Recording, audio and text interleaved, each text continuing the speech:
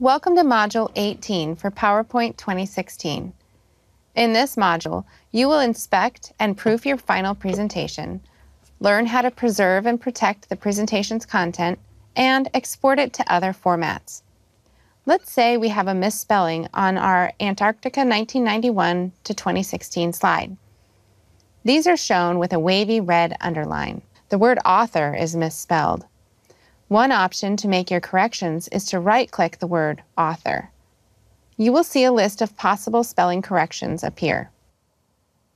In the list, click Author and the correction is made to the text on this slide. Another option is to click on the Review tab on the ribbon and click to select Spelling in the Proofing group. The Spelling task pane opens and the Spelling feature finds and flags the next misspelled word.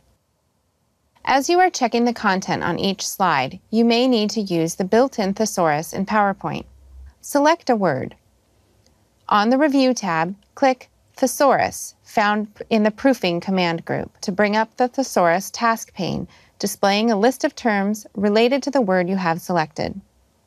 Another thing to consider is if your teacher has a different version of PowerPoint.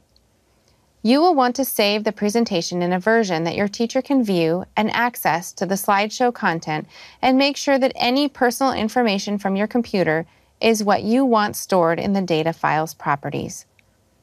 If your PowerPoint presentation is in Office 2016, but you need to share the file with your teacher who uses PowerPoint 2003, save it in PowerPoint 97 to 2003 format from the Save As dialog box.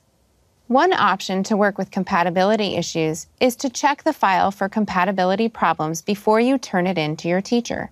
The compatibility checker will recommend fixes that may help you determine what you want to do next. Click the File tab and then click Check for Issues and a menu appears. Click Check Compatibility. The Microsoft PowerPoint Compatibility Checker dialog box opens it has found a few potential compatibility issues. Click OK and the dialog box closes. You can share your presentation in another format other than PowerPoint.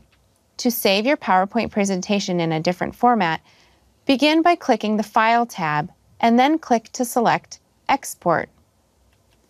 Here, you will be able to select the format for the export and follow the prompts to complete the export process. If you ever need to password protect a file, start by clicking the File tab and then click Protect Presentation to view the menu of choices. Click Encrypt with Password to open the dialog box. In the password box, type your chosen password. Click OK and another dialog box appears that will ask you to confirm the password. Type the exact same password again and click OK.